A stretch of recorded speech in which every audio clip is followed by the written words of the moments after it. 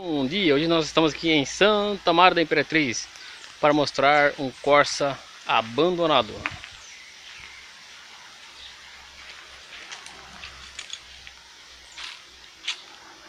Olha só a situação desse Corsinha.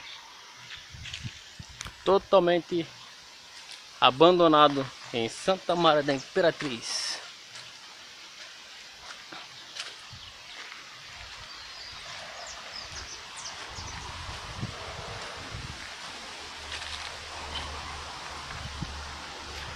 Agora ele irá ficar aqui até se acabar no tempo.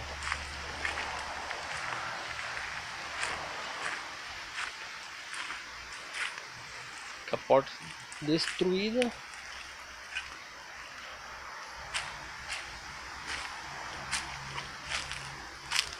Totalmente destruído pelo tempo.